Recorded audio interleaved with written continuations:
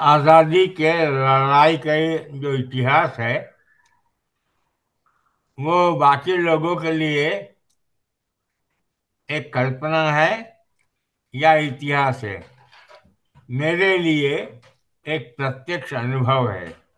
कारण, मेरे पिताजी नेशनल हेराल्ड के एडिटर थे, नेहरू के, और जेल गए थे, फोर्टी टू मूवमेंट में। उस समय मैं बारह साल का था। आज़ादी जब मिली, मैं सोलह साल का था। और जिस दिन आज़ादी मिली थी, उस दिन रात को मैं जगा था। मेरी माताजी ज्योतिषी होने के कारण उन्होंने आज़ादी के मुहूर्त के बारे में बताया था। इसलिए यही मैंने अपने विद्यार्थियों को बताया। मैं उनसे कहूँगा कि शुरू करें। भारत ने आज़ादी के मध्य रात्रि को क्यों तो चुना? इसके बहुत से कारण हैं। नमस्कार, मैं संदीप भट्ट, अपने ज्योतिष गुरु श्रद्धे श्री केरनाथ जी को प्रणाम करते हुए उनके मार्गदर्शन में इस विषय को बता रहा हूँ। पहला कारण कि बहुत सारे आक्रांताओं ने भारत पर बार बार आक्रमण किया, लूटा तहस नहस किया। हमको अपने ही देश को आज़ाद कराने के लिए बहुत सा संघर्ष करना पड़ा। अपनी जान की कुर्बानी देनी पड़ी। किसी ने भाई, पिता तो किसी ने बेटा खोया। हम उस समय की पीड़ा को अपने शब्दों में बयान नहीं कर सकते, क्योंकि हमने वह पीड़ा सहन नहीं की। उनको देखो जिन्होंने उस पीड़ा को सहा और उस समय के दौर को जिया। हमें बागी कहा गया में हमारे ज्योतिष गुरु श्री के राव जी के पिताजी, श्री के रामा राव जी, जो एक स्वतंत्रता सेनानी थे उन्होंने भी देश को आज़ाद कराने के लिए संघर्ष किया, जेल जाना पड़ा और उनको भी बागी कहा गया। वह नेशनल हेराल्ड अखबार के मुख्य संपादक तथा इसके निर्माणकर्ताओं में से एक थे। वह कांग्रेस के सदस्य थे। अटल बिहारी वाजपेयी उनको भारतीय पत्रकारिता का द्रोणाचार्य कहते थे। हँसी मज़ाक में महात्मा गांधी उनको लड़ाकू पत्रकार कहते थे। भारत को आज़ाद करने के लिए ब्रिटिश संसद में विधेयक पास किया गया जून 1948 को समय दिया गया भारत को आज़ाद करने के लिए। परंतु माउंट बेटन ने एक अलग ही तारीख दी 15 अगस्त जिस समय जापान ने समर्पण किया उसी तारीख को भारत को आज़ाद करना चाहते थे। परंतु उनको सूर्यनारायण व्यास पंडित हरदेव शर्मा त्रिवेदी जी डॉक्टर राजेंद्र प्रसाद ने इस पर उनसे बातचीत की। कहा कि यह समय आज़ादी के लिए कुछ समय नहीं है कुछ समय रुक जाओ परंतु माउंट बेटन अपनी जिद पर अड़िग रहे। सूर्य नारायण व्यास पंडित हरदेव शर्मा त्रिवेदी जी त्रिवेदी जी और डॉक्टर राजेंद्र प्रसाद व पंडित जवाहरलाल नेहरू जी ने के साथ आपस में परामर्श किया। उसके बाद पंडित जवाहरलाल नेहरू ने मीटिंग पर मीटिंग की और रात्रि ज़ीरो ज़ीरो एक मिनट अभिजीत मुहूर्त पर भारत का तिरंगा झंडा लाल किले से फहराया। और भाषण दिया। यह ऐसा मुहूर्त था जैसे किसी की आँखों से काजल चुरा लेना, परंतु उसको पता ना लगे। अशुभता में भी बहुत सारी शुभता हमें मिली। किसी मुहूर्त को चुनने के लिए आपको कुछ चीज़ों पर विशेष ध्यान देना पड़ता है। यदि कार्य स्थिर है तो स्थिर लगन।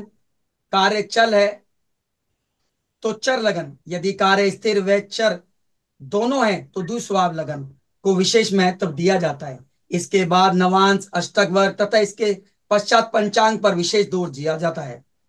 ज़ोर दिया जाता है, इसके अलावा और भी चीज़ें हैं। तब जाके कहीं एक सही मुहूर्त बनता है। तभी तो कहा जाता है, कभी किसी को मुकम्मल जहाँ नहीं मिलता, कभी किसी को मुकम्मल जहाँ नहीं मिलता, कहीं ज़मीन, कहीं आसमान नहीं मिलता। धन्यवाद। आगे आपको सीमा नागपाल जी बताएँगे। धन्यवाद संदीप जी। भारत के लिए हमारे महान ज्योतिषियों ने उस दौरान वृषभ लगन को चुना। वृषभ लगन जो कि एक स्थिर लगन है। और स्थिर लगन के लिए एक स्थिर तारे के लिए एक स्थिर लगन का होना बहुत ही आवश्यक है। इसी के साथ उन्होंने मीन नवांश को भी चुना। मी, मीन नवांश पुष्कर नवांश में आता है। यह शुभ माना जाता है। किसी भी मुहूर्त के लिए हम सातवें और आठवें भाव में कम से कम ग्रहों को रखते हैं ताकि कार्य क्षेत्र में हमारे रुकावटें ना आए।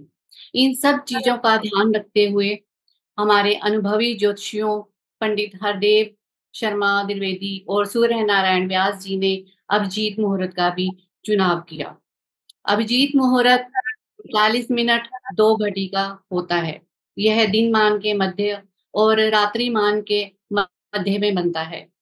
अभिजीत मुहूर्त के बारे में तुलसीदास जी ने भी कहा है कि नौमी तिथि मधु उन्होंने रामचरित्र मानस में इसके बारे में बोला है नौमी तिथि मधुमाता शुक्ल पक्ष अभिजीत परिप्रीता मध्य दिवस अतिथि धाम पावन काल लोक विश्रामा। इससे हमें पता चलता है कि राम जी का जो जन्म था वह मध्य अभिजीत मुहूर्त के समय हुआ था। अभिजीत मुहूर्त का बारे में हम दिन के बारे में तो जानते ही हैं कि ये अभिजीत मुहूर्त दिन के समय में आता है। लेकिन अभिजीत मुहूर्त हरिवंश पुराण के में आता है कि यह रात्रि मध्य में भी आता है। श्री कृष्ण जी का जो जन्म था वह रात्रि के समय अभिजीत मुहूर्त में हुआ था। इसी के साथ चंद्रमा भी उस दौरान तीन डिग्री उनसठ मिनट का कर्क राशि में पुष्य नक्षत्र में प्रवेश कर रहा था। पुष्य नक्षत्र के बारे में वी के श्रीधर जी ने अपनी एक मुहूर्त की पुस्तक में बहुत ही सुंदर वर्णन किया है। उन्होंने कहा सभी क्लासिक को इकट्ठा करके एक मुहूर्त की बहुत ही सुंदर पुस्तक में इसका विषय में कहा है कि यह कलयुग के समस्त दोषों को शमन करता है। कलयुग तो क्या, और युगों की तो फिर बात ही क्या? पुष्य नक्षत्र पुष्टि, वृद्धि प्रदान करने वाला है। यह क्योंकि उधरगामी नक्षत्र है इसलिए यह उन्नति को प्रदान करता है। पुष्य नक्षत्र सिर्फ़ विवाह कार्य को, केवल विवाह कार्य को छोड़ के यह सभी कार्यों में शुभ माना जाता है। इसकी शुभता मानी जाती है। यह सभी मनोकामनाओं को पूर्ण करने वाला है। आशीर्वाद का नक्षत्र है ब्लैसिंग का नक्षत्र है और पुष्य नक्षत्र के में गुरु पुष्य योग और रवि पुष्य योग और स्वार्थ सिद्ध योग बनता है जिसमें कि समस्त दोषों का शमन होता है और हमारे सारे कार्य पूर्ण होते हैं। इसी तरह पुष्य नक्षत्र को पुष्य नक्षत्र को व्यवसाय और विद्या के आरंभ में व्यापार के आरंभ में भी लिया जाता है क्योंकि ये कुंडली के समस्त दोषों का शमन करता है इसीलिए। और पुष्य नक्षत्र का जब हमने चुनाव किया था तो भारत की कुंडली में हमें शनि की प्रथम जो दशा मिली थी, जो कि वृषभ लगन के लिए योग कारक मानी जाती है। इस तरह हमने देखा कि हमारे महान अनुभवी ज्योतिषियों ने स्थिर मुहूर्त, स्थिर लगन, अभिजीत मुहूर्त और पुष्य नक्षत्र का चुनाव किया, जिसने कि हमारे देश को एक मज़बूत नींव प्रदान करने का कार्य किया। इसी के साथ उस दौरान कुंडली में बहुत ही सुंदर योग बन रहे थे, जिसे कि हमें राज बताएँगी। धन्यवाद। धन्यवाद सीमा जी। हमारे बहुत से सुंदर योग जब उन्होंने बहुत सुंदर अभी जीत मुहूर्त स्थिर लगन और पुष्य नक्षत्र दिया तो बहुत से सुंदर योगों का भी ध्यान रखा। हमारे विद्वान ज्योतिषियों ने कितने भाव में पंचग्रही योग, जिसमें दशमेश का जुड़ना एक संन्यास योग बनाता है। भारत सन्यासी और हमारे साधु संतों की भूमि है। यहाँ में तीसरे भाव से पाँचों ग्रह हमारे नवम भाव भाग्य स्थान को देखकर हमारे देश को समृद्धशाली, वैभवशाली तो बना ही रहे हैं। साथ में हमें विश्व का अध्यात्म गुरु की तरफ़ भी ले जा रहे हैं, क्योंकि तीसरा भाव हमारा उपदेशक विचारक और प्रचारक का भी है। इसके साथ ही हमारी कुंडली में बहुत सुंदर गज केसरी योग बन रहा है। चंद्र से केंद्र में गुरु का होना, इस योग को बनाकर भारत की गरिमा और मान सम्मान को बढ़ा रहा है। इसके साथ ही हमारे ज्योतिषियों ने देखा कि भारत की कुंडली में तीसरे भाव में सरस्वती योग, लग्नेश शुक्र का सूर्य चंद्र के साथ बैठना सरस्वती योग भारत विश्व को महान प्रसिद्ध इंजीनियर, वैज्ञानिक और डॉक्टर भी दे रहा है। और इसके साथ ही साथ त्रिकोण के स्वामियों का और साथ में दशमेश का तीसरे तीसरे भाव में बैठकर एक महाराज्य योग बना रहा है। इस महा, इस योग को जब हम तीसरे भाव में देखते हैं तो तीसरा भाव हमारा टीवी, मीडिया, फ़िल्म और साथ ही साथ पब्लिकेशन प्रलेखन और इसके साथ साथ बड़ी एजेंसीज टूर एंड ट्रेवलिंग का होने के कारण। यहाँ चंद्रमा भी है और चंद्रमा जल का कारण है तो हमारी नेविगेशन भी विश्व में बहुत विशाल और भारत को प्रसिद्धि प्रदान कर रही है। इसके साथ साथ हमारी कुंडली में प्रिय राजयोग, अष्टमेश का छठे भाव में बैठकर सरल योग को बना रहा है, जो बहुत शुभ है। और साथ में शंख योग अनफा और आकृति योग, धन योग, वासुमान योग और साथ ही साथ कर्मजीवी योग बनाकर हमारी कुंडली को बहुत बल दे रहे हैं, जिससे कि हमारा देश आगे बढ़ता ही जा रहा है। आगे का जया जी। धन्यवाद राज जी। जैसा कि आप सभी देख रहे हैं कि ये जो समय था, कालखंड वो बहुत ज़्यादा अशुभ था। ऐसे में हमारे ज्योतिषियों ने अपने देश के निर्माण के लिए और उसको शक्तिशाली बनाने के लिए मुहूर्त की महत्ता को समझते हुए उपयुक्त उपयुक्त समय का चयन किया। मुहूर्त में पाँच चीज़ों से मिलकर वसुता बनता है, जिसमें तिथि, वार, नक्षत्र, योग और करण होते करण होते हैं। ये ये पाँचों चीज़ें सूर्य और चंद्रमा की गति से मिलकर बनते हैं। उस दिन कृष्ण चतुर्दशी तिथि थी, जो कि एक अशुभ तिथि होती है, रिक्ता तिथि होती है, उस दिन शुभ कार्य नहीं होते। परंतु बृहद पराशर होरा शास्त्र में स्पष्ट तौर पर दिया गया है कि कृष्ण चतुर्दशी तिथि के छह भाग करने चाहिए और उसका जो प्रथम भाग होता है वह किसी भी कार्य के लिए शुभ होता है। तो यहाँ पर हमारे महान ज्योतिषियों ने बहुत सूझबूझ के साथ प्रथम भाग का चयन किया। उसके बाद हम आ जाते हैं वार पर। तो उस दिन गुरुवार था। जैसा कि हम सभी को पता है कि उस दिन गुरुवार को हम मांगलिक कार्य रचनात्मक कार्य शैक्षिक कार्य आदि करते ही करते हैं। साथ ही साथ यह बात चुनने से हमारे गुरु जो दे, हमारे देश की कुंडली में छठे भाव में स्थित है उसको भी बल मिलता है जो कि दसम भाव को देखते हुए सरकार को भारत सरकार को स्थिरता प्रदान करते हैं साथ ही साथ धन भाव को देखते हुए धन पर भी, भी स्थिरता प्रदान करते हैं। इसके साथ साथ हम आते हैं नक्षत्र पर। उस दिन चंद्रमा पुष्य नक्षत्र पर गोचर कर रहा था। नारद संहिता में पेज नंबर सत्तावन पर स्पष्ट तौर पर लिखा गया है कि जब चंद्रमा पुष्य नक्षत्र पर गोचर करता है तो हर प्रकार के अनिष्ट का भंग करता है।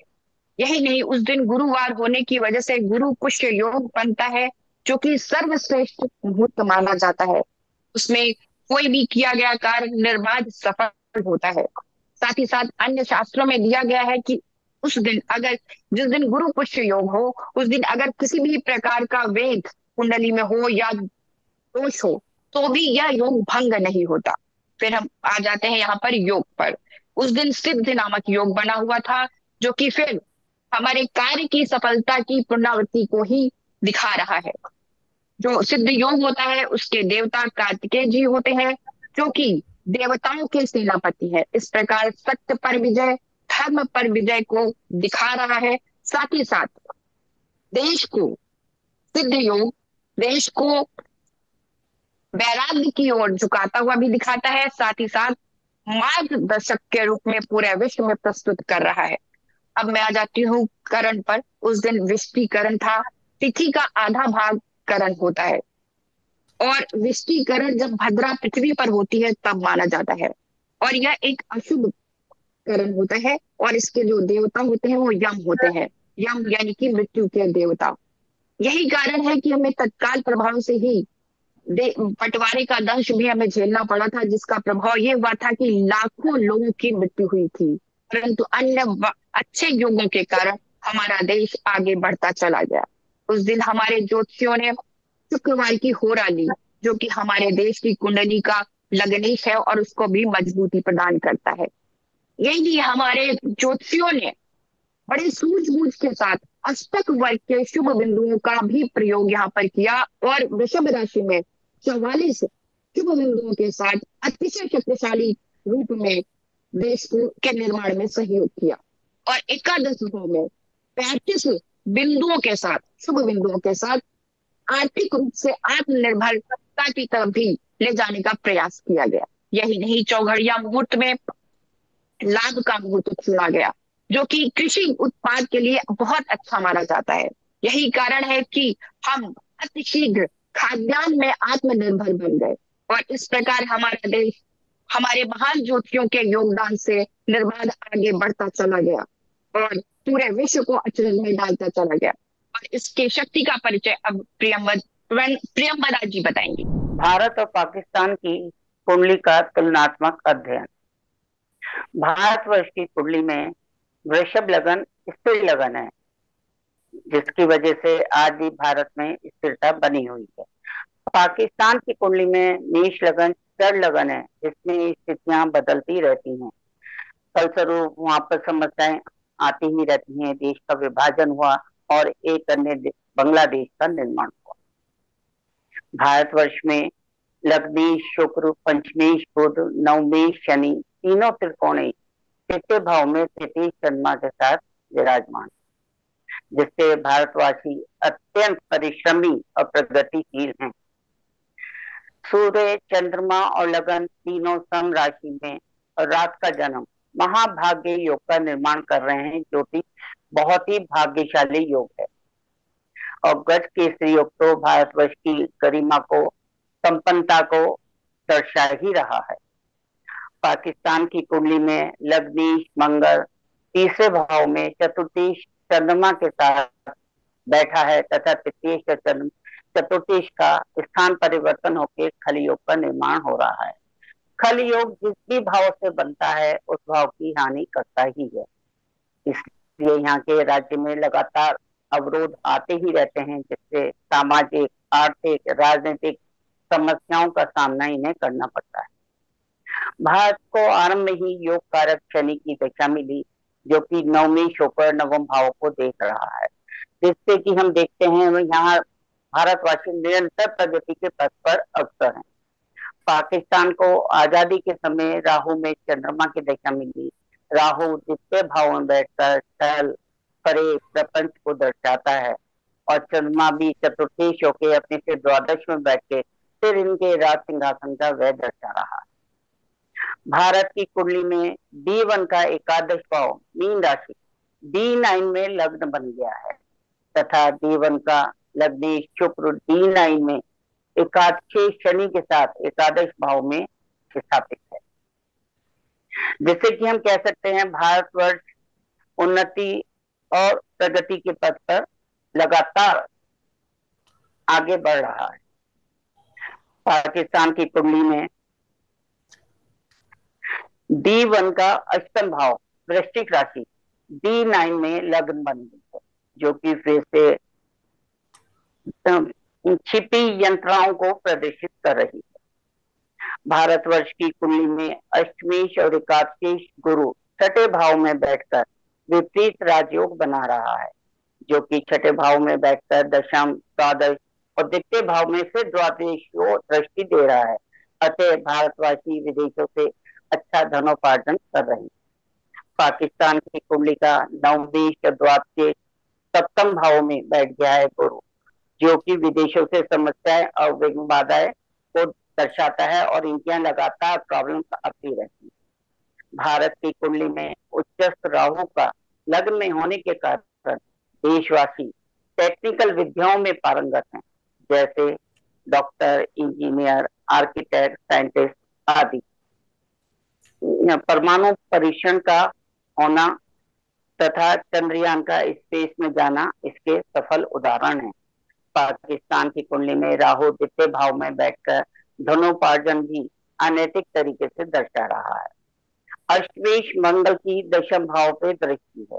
इससे हम कह सकते हैं कि इनके केंद्र त्रिकोण सारे ही भाव बिगड़े हुए इनके पाकिस्तान की कुंडली देश में कोई भी व्यवहार व्यावसायिक कार्य मिलिट्री की के द्वारा ही संपन्न होता है। भारत की कुंडली में नवम भाव धर्म और आध्यात्म का है। यहाँ पर शनि, मंगल दोनों की दृष्टि आ रही है, जिसके कारण कुछ सामाजिक, असामाजिक तत्व हमारी धार्मिक भावनाओं को ठेस पहुंचाते रहते हैं। साथ ही हमारे सामाजिक प्रयोजनों में हस्तक्षेप करते रहते हैं। पाकिस्तान की कुंडली में शनि, मंगल दोनों दशम भाव को दृष्टि दे रहे हैं। साथ ही षष्टी बुद्ध मृत्यु भाव में होकर चौथे भाव में बैठकर दशम भाव को भी दृष्टि दे रहा है। इस प्रकार इनका राज्य सिंहासन, इनका व्यवसाय के सभी कुछ डावाडोल हो गया है, जिससे इनकी यहाँ अव्यवस्थाएँ, संघर्ष, राजनीतिक त्रुटिपूर्ण गाँव पे लगातार आते ही रहते हैं। फलस्वरूप पाकिस्तान की आर्थिक स्थिति बिल्कुल बिगड़ चुकी है। वर्तमान में वहाँ पर आतंकवाद का बोलबाला है। इस प्रकार हम कह सकते हैं कि हमारे महान ज्योतिषियों ने आज़ादी की घोषणा ग्रहों के आधार पर, योगों की स्थिति को देखते हुए और वर्तमान दशाओं को समझते हुए सही मुहूर्त में की थी। आगे हमारे श्रद्धे गुरु जी श्री केंद्राव। बताएँगे भारत की आज़ादी से बहुत से जो फ़ायदे हुए हैं, उनमें मेरे हिसाब से सबसे बड़ा फ़ायदा ये था कि दुनिया के इतिहास में जो सबसे बड़ा लुटेरा था अंग्रेज़, उससे हमने पिंड छुड़ा लिया। क्यों सबसे बड़ा लुटेरा कह रहा हूँ? उड़ीसा की एक महिला इकोनॉमिस्ट ने हिसाब दिया है कि अंग्रेज़ों ने 45 से लेकर चौवन ट्रिलियन पाउंड लूटे इंडिया से। एक ट्रिलियन कितना होता है? एक ट्रिलियन होता है छब्बीस लाख करोड़। अब 26 lakh crore into forty five या फिफ्टी टू आप करें कितना मिलेगा? और पाउंड थे वो। पाउंड का मतलब उसमें सौ रुपए और होंगे एक एक पाउंड में। अब इसको आप रुपए बनाकर लिखना शुरू करें तो कानपुर से नागपुर पहुँच जाइएगा। इतना ज़्यादा पैसा खाइए तो अंग्रेज़ के जाने से हमारा वो बचा। दूसरा, ब्रिटिश राज में आप लोग तो नहीं थे, मैं तो था। सोलह साल का था मैं जब हिंदुस्तान आज़ाद हुआ। भुखमरी होती थी। फेमीन्स होते थे। पैंतीस करोड़ जिस देश की आबादी। बांग्लादेश और पाकिस्तान मिलाकर वहाँ पर लोग भूखे मरते थे। आज़ाद होने के बाद हमारी आबादी अब है 140 करोड़ और कोई भूखे नहीं मरता। साल में तीन फ़सल होते हैं, जबकि उस समय एक फ़सल होता था। तो हमने सब प्रकार से उन्नति किया है अंग्रेज़ों के जाने के बाद और इसकी वजह से हम महात्मा गांधी और बाकी स्वतंत्रता सेनानियों के बहुत आभारी हैं। इतना कह के मैं समाप्त करता हूँ। इसी के साथ सबको नमस्कार करते हुए जय हिंद सबकी तरफ़ से। जय हिंद। जय हिंद। जय हिंद।